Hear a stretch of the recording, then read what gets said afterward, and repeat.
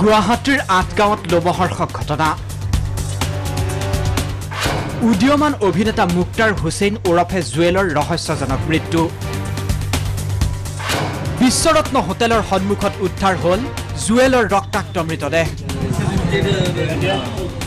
উত্তৰ জালুকবাৰীৰ এওঁ উদীয়মান অভিনেতা কৰিঅগ্ৰাফাৰ মুক্তাৰ হুছেইন ওৰফে জুৱেল।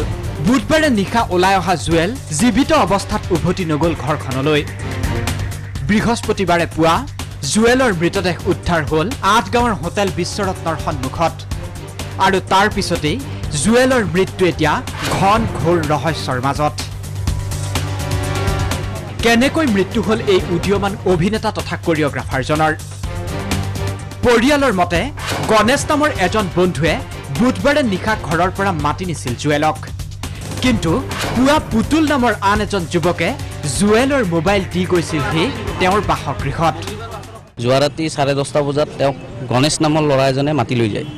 গণেশ নামৰ ল'ৰাজনে মাতি লৈ যোৱাৰ পিছত ৰাতিপুৱা আকৌ মোবাইল এজন পুতুল নামৰ ল'ৰাই মোবাইলটো ঘৰত ঘূৰাই দিব। কিন্তু ঘটনাটো এনেকুৱা ছাছপেক্টত ৰাখি দি গ'ল মোবাইলটো ঘূৰাই দি গ'ল কিন্তু ব্যক্তিজনৰ কি অৱস্থা হৈছে সেই বস্তুটো নজনালে। পুতুলক যদি আমি সেই প্ৰশ্নটো কৰোঁ যে গণেশ নামৰ ল'ৰাটোৰ কিবা খবৰ তেতিয়া সি ফোনটো কাটি দিয়ে। আন একাংশৰ মতে নিশা একাংশ কিন্নৰৰ সৈতে বাক বিতণ্ডা হৈছিল জুৱেলৰ। আঠগাঁৱত দুৰ্বৃত্তই আক্ৰমণ কৰাৰ সন্দেহ জুৱেলক। শুনিছোঁ যে কিছুমান মানে এই যে মানে হিজিৰা টাইপৰ মানুহ মানুহৰ লগত অলপ তৰ্ক বিতৰ্ক হোৱা বুলি। শুনা শুনা কথা দেই দেখা পোৱা নাই।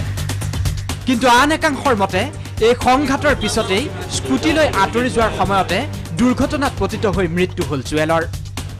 কিন্তু জুৱেলৰ মৃতদেহৰ কাষত উদ্ধাৰ হোৱা স্কুটিখনে পুনৰ ৰহস্যৰ সৃষ্টি কৰিছে।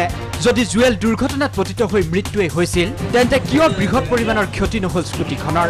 কাৰণ সামান্য পৰিমাণেহে ক্ষতিসাধন হৈছিল স্কুটিখনৰ। কিবা এটা কাজিয়া হোৱা বুলিও শুনা পাইছোঁ যে হয়তো এইটো it may be murder one মাৰ্ডাৰো হ'ব পাৰে কিন্তু এটা ছাছপেক্ট হয় আমাৰ গতিকে এইটো অনুসন্ধানৰ পাছত নিশ্চয় ওলাই পৰিব। ইপিনে মৃতদেহৰ মূৰ আৰু ডিঙিত আঘাতৰ চিন স্পষ্ট হৈ আছে। আৰক্ষী ঘটনাস্থলীত উপস্থিত হৈ জুৱেলৰ মৃতদেহ মৰণোত্তৰ পৰীক্ষাৰ বাবে জি এম চি এইচলৈ প্ৰেৰণ কৰে। সমগ্ৰ ঘটনা সন্দৰ্ভত আৰক্ষীয়ে মুখ খুলিব বিচৰা নাই যদিও এই উদীয়মান অভিনেতা তথা কৰিঅগ্ৰাফাৰজনৰ মৃত্যুৱে অত্যন্ত ৰহস্যৰ সৃষ্টি কৰিছে। অৱশ্যে গণেশ আৰু পুতুল নামৰ যুৱক দুজনক সোধা পোছা কৰিলেও বহু তথ্য উদঘাটন হ'ব বুলি আশা কৰিব পাৰি। সমগ্ৰ ঘটনা সন্দৰ্ভত আৰক্ষীয়ে তদন্ত আৰম্ভ কৰিছে। উদীয়মান কৰিঅগ্ৰাফাৰ মুক্তাৰ হুছেইনৰ মৃত্যুত শোকৰ ছাঁ পৰিছে উত্তৰ জালুকবাৰীত। মালিগাঁৱৰ পৰা ছাইদুল ইছলামৰ সহযোগত মাধৱ দাসৰ report D Y three six five.